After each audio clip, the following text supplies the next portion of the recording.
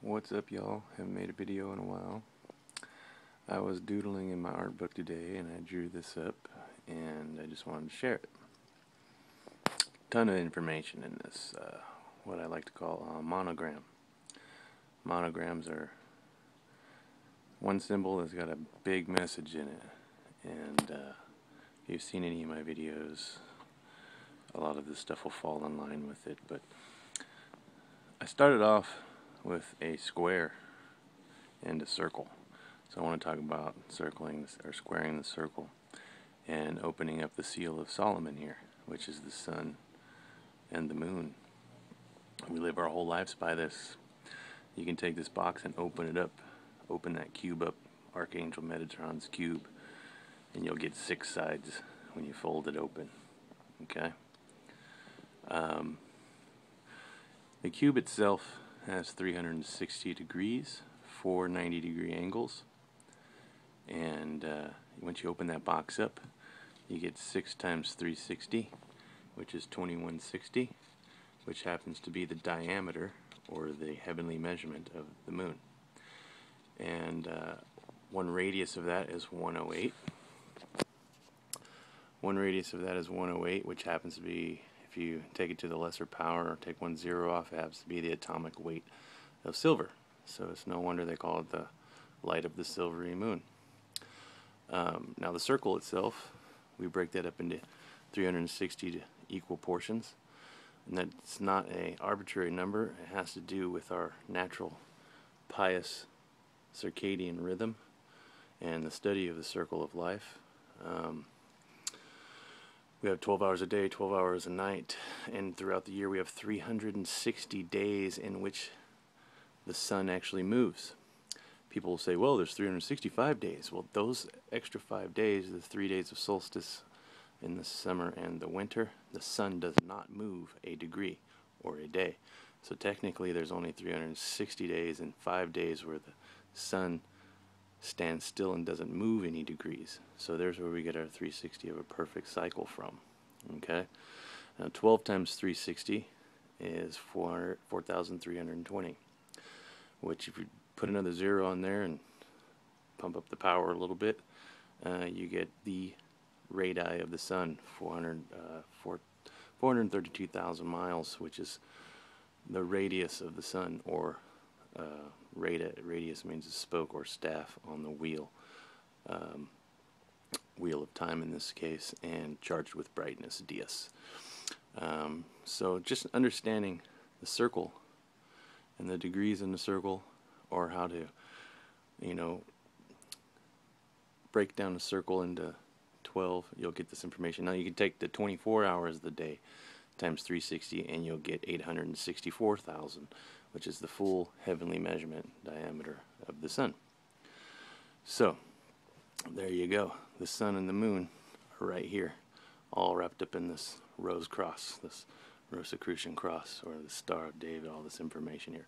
Now, all the geometric solids will layer into this. Um, all of our polygons are based off of this circle.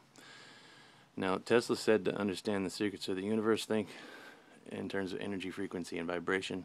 That's music, that's sound, that's uh, harmony. That's why we call it the universe. It's one spoken word, and that word is music. Uh, so music correlates with this. This is this is basically the quadrivium all wrapped up into one big monogram here on one page.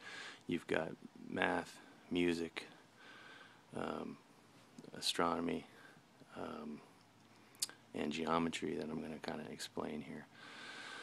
So let's take this 12 and just straighten it out into a line and then you get our, our foot which is based on the average size of the human thumb and it correlates with all this information. So 12 we can find a root digit. This is not numerology people. This is a modern science term called finding the root digit. Every long uh, string of numbers you can um, add them up and deduce it down to its root digit, which will be between 1 and 9. Okay? And it has to do with our hands, like I've discussed before, all these sacred numbers. And there's two hands on the clock. And there's a long hand on the clock. That long hand is going to be proportionate to 432. Okay, and that small hand on the clock, which is correlates with the sun, that small hand on the clock is going to be mathematically proportionate to 216, which is the radius. So the large hand is the sun, the small hand is the moon, which gives us our cycles. Um, here's another cool thing here. This seal of Solomon here, that one triangle is 70, 720 degrees, the other triangle is 720 degrees together. They're 1440. If you take one radius, uh, the, the 432 number of the sun, which you could tune your A string to on your guitar, and you divide it by 1440, you get 33.333333333333 on into infinity. So a very infinite number. Infinite light savior.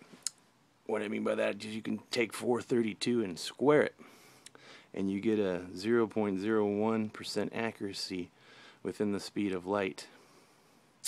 All this information is right here, guys. It's pretty cool. A very accurate approximation of the speed of light. So we have here 369, um, finding root digits. Here's our, our foot. Um, here's our day, or our, I'm sorry, not our foot, but our day, our, our, uh, and then our day and night combined and then the 1440, um, which are the degrees of the Seal of Solomon. And there's other ways you could find that, but that's 3, 6, and 9. That's our information here. And then we have 12 inches in a foot. That's 3. We have 1 square foot is 144. Uh, cubic foot is 728, which is going to uh, correlate with something. I can't remember what, though. Uh, but it all reduces down to 9. Our yard is 36 inches and a square yard is 1296 which is actually I believe it's a half of the uh, great year cycle um, and then of course the cubic yard is 9 itself so down here we have we can take all of our uh, angles and our shapes that we got our polygons we'll start with a circle split that circle in half um, you got a triangle a square a pentagon, a hexagon. Uh, what is the seven? It's the heptagon. This one's kind of tricky because when you first break it up, it breaks down to 125 point something something something degrees. But when you toll it out into three, uh, all the way around the circle, it comes out to 900 degrees, which comes to six, six three zero zero. Or, uh, so all these numbers still deducing down to the root digit of nine and of course at 10 here you get these are all your polygons and you can keep going with these polygon shapes and they're all going to re reduce down to this 9 digit um, now we can go into the platonic solids. Uh, you have your tetrahedron. It's uh, 4 times 180 degrees that's 720 that deduces down to 9 your cube 6 times 360 that's your moon your, your moon. And you know Islamic cultures or their desert cultures they worship the moon, so it's no wonder that they go to Mecca and walk around a giant cube. or the solar cultures kind of stuck to this thing. Um, your dodecahedron, 12 times uh, 540. Here's the cool thing all these numbers right in here, and a lot of these numbers here, and especially like 432 itself, this isn't just a Christian or Judeo Christian information, okay? The sun rolling across this circle is also where you get your yin yang sign from. But uh, Brahma, the breaths of Brahma, or Brahma himself, the, it's uh, the, the Hindu philosophy. Um, they say um, he had four horn or four heads, three or four horns, three heads, and two mouths, or something like that. But and um, and it was sevenfold. So Brahma himself is related this, and then you'll you'll find uh, 432 statues of Buddha at temples and stuff that correlate with this, and you'll find a this number 108 all around. Actually, all of these numbers you're seeing here will be found in the sacred monuments, the sacred sites, the sacred temples on the whole globe. No matter, regardless of what religion you are, you're going to find all this stuff. So the thing that ties all religions together is this knowledge th this this coding of information right here. And, and these are the Kali Yuga, the Hindu calendars, the Kali Yuga. Um, you'll find this in, in everything. In college, I've one thing I started recognizing, studying, and taking the my philosophical courses and world religion courses is that the numbers always wind up being the same. Um, So, uh, so it's a universal language here in the symbols. Um, if, if, we can all just understand this, then we can kind of get on the same page. Um, so we could tune our guitars and our instruments to this too, like Pythagoras uh, used to when he was first studying this in the ancient time. The pyramids were tuned into this frequency.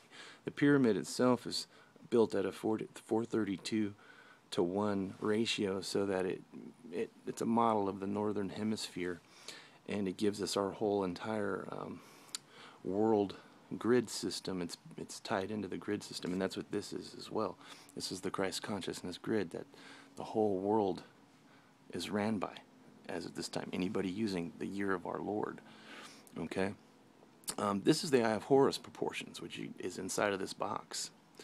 Um, the Eye of Horus is proportioned out, and the, everybody has an Eye of Horus. It's, it's, it's, it's within us. It's when we balance both hemispheres of our brains using geometry, music, the liberal arts. And like I said, this is a fine example of the quadrivium but what I'm using is the trivium to convey this information, which is grammar. I'm using my words and I'm trying to do some etymological definitions for you so you get what I'm talking about. And I'm using logic, which is the, the logistics, the numbers, okay, how all this stuff adds up. And then I'm using rhetoric, of course, which is teaching you guys about this stuff or the art of convincing you that I'm onto something here, or that we all use all this hidden information, all that people are seeking, is right here in front of us. We use it every day. We live our whole lives by it. So the Eye of Horus, when you look at the Eye of Horus, it's proportioned out into these half, quarter, eighth, sixteenth, thirty-second. But you can split up the box, Metatron's cube this way, and get these proportions on the spiral down. And on the spiral out, you'll have the Fibonacci ratio. One and one is two. Two and one is three. 3 and 2 is 5. I'm sorry, 5. 5 and uh, 3 is 8. 8 and 5 is 13. And so on and so on. And it, if I would have drawn this differently, I could have put this box here. Or I could have drawn it on the inside and I could have actually drawn in the Fibonacci spiral that goes to this. And what is spire? What is a spiral? The root word is spire. And it's the same place we get the Holy Spirit from. So the golden ratio. And what is ratio but the relative to Ra? Okay, the relative to Ra, radius. Tio is cousin for relative, Ra, sun god. Okay, and basically what I'm doing right here is I am freeing the mathematics, or Mat, the spirit of Mat. I'm um, freeing the mathematics of the sun ray, or the sun Ra, and the moon, Isis, Horus, and Set. So I'm showing you the hidden secrets of Freemasonry right here, if you understand. Now, our tuning today is a standard 440, which doesn't take us away from all this information. It just means we're tuned into the mile. The mile is a thousand human paces at 5,280 feet. You take 12, the actual uh, octave, and you divide that into that, and you get 440.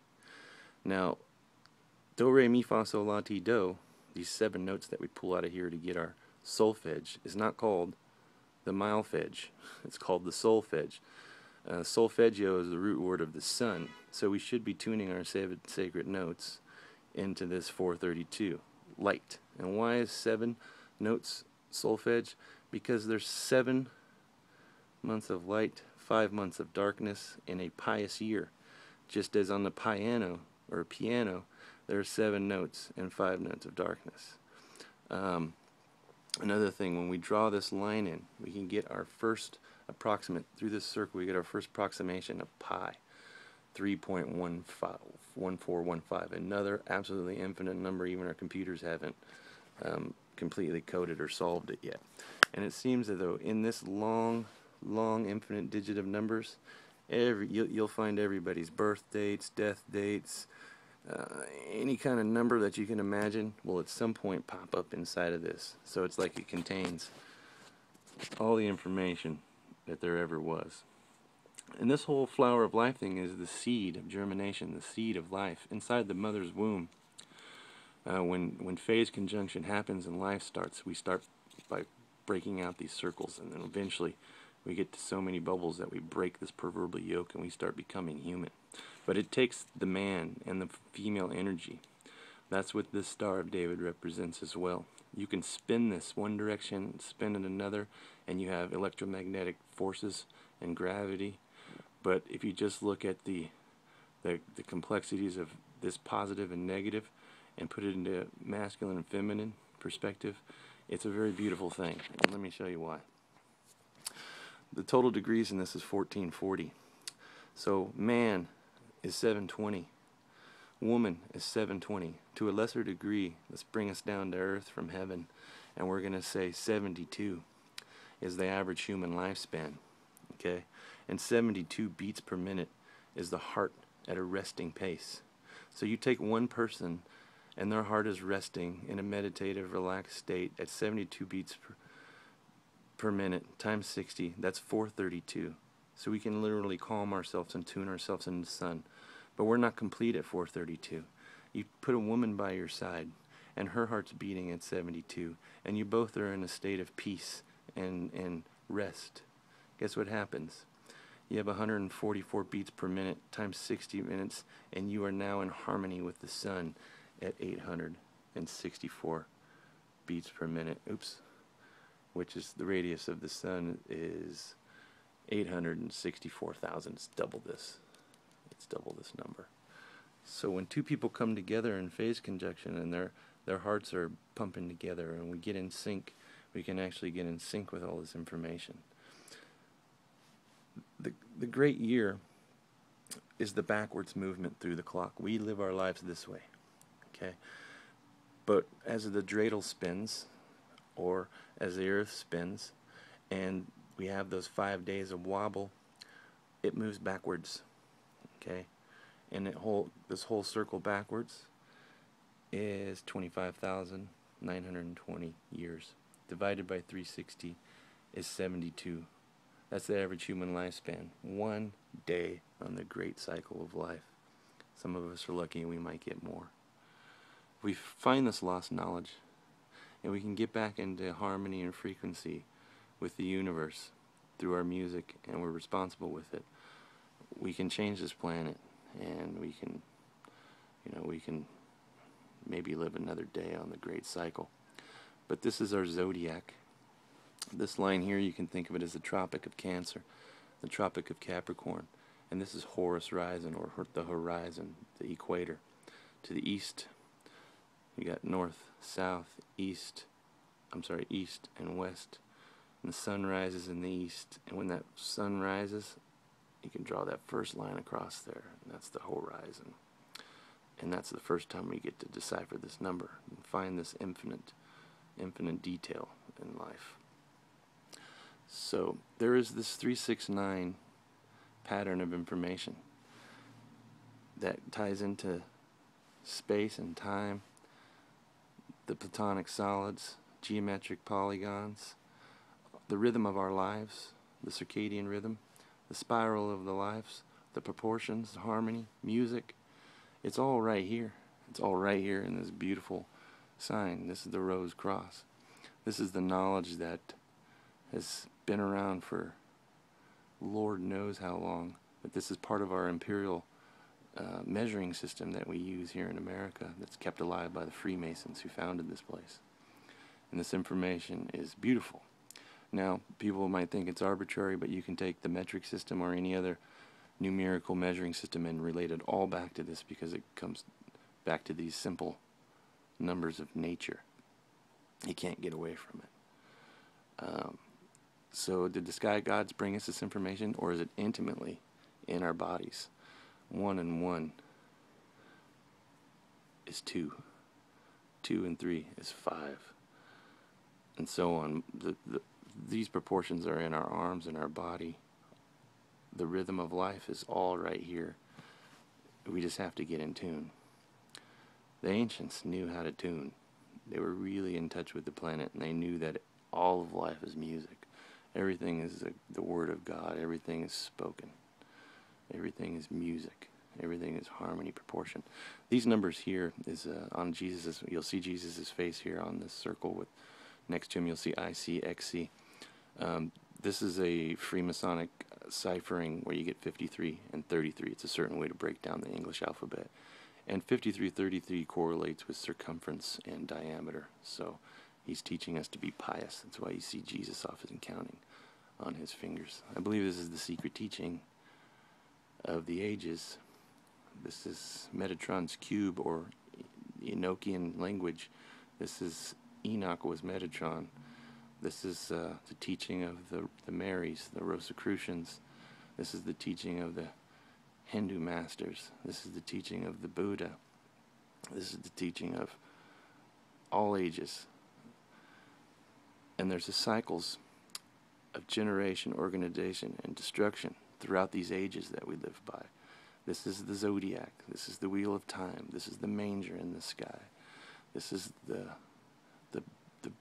everything we need to know to reestablish humanity. And this is all encoded into the greatest monuments on the planet, like the Great Pyramid, and all the ancients were trying to leave this for us. And you know what? We use this whole system today to get to Mars. We just launched rockets back up into space today after we shut down the shuttle system. And I guarantee you they were using this knowledge in, in accordance with calculus and everything else to, to get us where we are today. So none of this is arbitrary.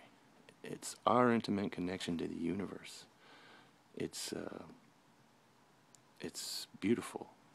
And it is Isis Humanitor Salvador. It's Isis Horus uh, or Salvatore, I can't remember what it says. Isis Horus This is the knowledge of human humanity. Doesn't matter what culture you're from. You'll find this star in the Islamic mosques. You'll find these stars in the temples. You'll find this geometry in the Christian churches. You'll find these numbers in the Kali Yuga. You'll find this information everywhere on the globe left to us. Some of us have the eyes and the ears to see it and hear it, and I hope everybody else does someday too. Be blessed, people. Have a great day. And be pious. Be pious and philosophize. And be full of love and light. And light is knowledge, and knowledge is light. Be blessed. Take care.